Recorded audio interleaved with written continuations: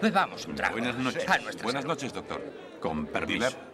Buenas noches. Disculpen. Uno doble para mí. Bueno, más vale que sea ahora. Es un buen momento.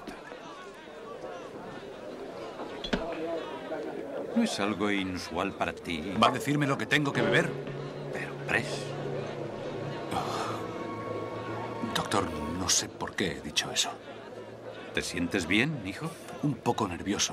Ha sido un día muy duro. He tenido escalofríos. ¿Escalofríos? Más vale que te tranquilices. Muerto la CUR, tienes que arreglar ese lío del banco. No puede ser, pero si le vi anteayer. Yo lo he visto hace una hora.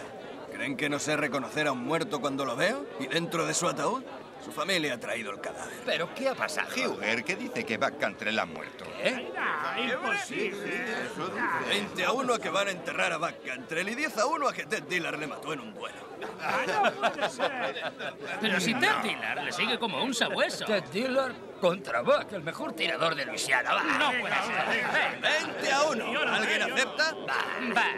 Me parece que el objeto de su apuesta es un asunto privado que solo concierne a mi familia. Vamos, Dillard. Lo siento mucho. No es motivo de apuesta. No, tiene toda la razón. Pero últimamente ha muerto tanta gente que... Dillard. ¿Por qué?